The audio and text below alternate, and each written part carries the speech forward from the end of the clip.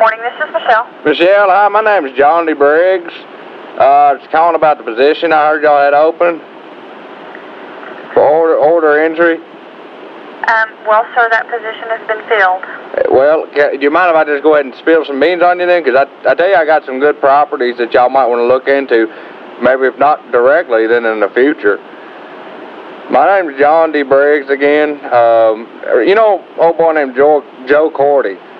Yes, sir. He's the one that referred me. We were in the service together, as a matter of fact. But uh, I thought I'd just let you know what kind of talents I had in the order entry and the locks and such. Um, let's see. I guess my my big thing that would be uh, give me the the edge over anybody else in this is that I, I'm currently working over the Sales Bingo Club. Mm-hmm. And as you would guess, you got to be pretty good on calling out numbers and ordering, you know, people when they say bingo and and they hard that out. You got to make sure they get their prizes and such. Mm-hmm. So I think that would be one qualification.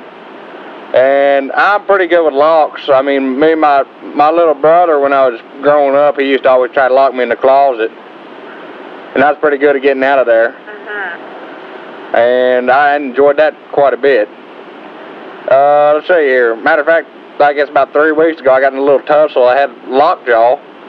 So there's another thing about locks. Mm-hmm. Uh, let's see here. But I'll tell you what, one of my big customers out there at Versailles Bingo Club is named Steve Wolf. Uh-huh. I think he works with y'all. Mm-hmm. He thought I should probably call y'all up too Mm-hmm. and see about this position. Mm-hmm. And I got a couple good references too. Mm-hmm. Who are they? Well, I'll tell you the big two that told me to call you specifically, and Mr. Tommy Burkhart and Nate Brown. Mm-hmm. okay. they wanted me to give you a call. They did. Yeah. Hey, this is Fred Mullins. I'm good buddies with him. And John Briggs. I wanted to call you up and see if I could get that position today. I don't think so. What do you think? I don't think I want to hire anybody that had lockjaw. I got lockjaw. I got lots of experience. I'm pretty good at those numbers when they holler them out the bingo parlor. Uh-huh. I see. I never miss one. Uh-huh. What So- is your name? This is John D. Briggs, and Uh-huh. my name's Fred Mullins.